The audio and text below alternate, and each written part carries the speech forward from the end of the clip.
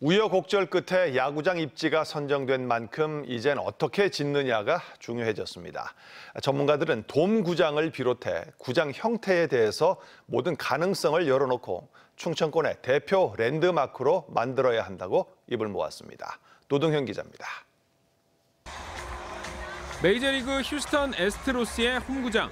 선수가 홈런을 날리자 외야 왼편의 아치형 구점을 위해서 증기기관차가 달리며 분위기를 띄웁니다.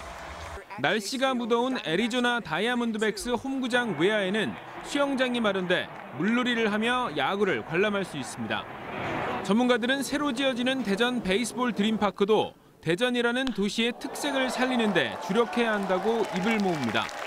2025년 야구장 준공과 더불어 함께 개통되는 트램과 연계한 야구 관광 상품 등 대전만의 정체성을 살린 다양한 체험과 볼거리가 마련되면 대전 관광 활성화에 큰 기폭제가 될 수 있기 때문입니다.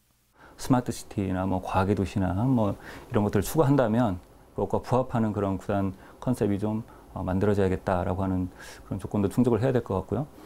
구장 형태와 관련해서도 모든 가능성을 열어놓고 스포츠 마케팅 효과를 극대화할 수 있는 방식으로 건립이 추진돼야 한다는 지적입니다. 돔구장은 일반 구장에 비해 두 배 가까이 예산이 많이 들지만 한화 이글스가 전국적으로 인기를 끄는 구단이 된 만큼 대규모 민자 유치가 이뤄진다면 예산 부담을 크게 줄일 수 있습니다. 갈수록 심해지는 미세먼지와 폭염 등 기후 변화도 돔구장 건립 필요성이 높아지는 이유입니다.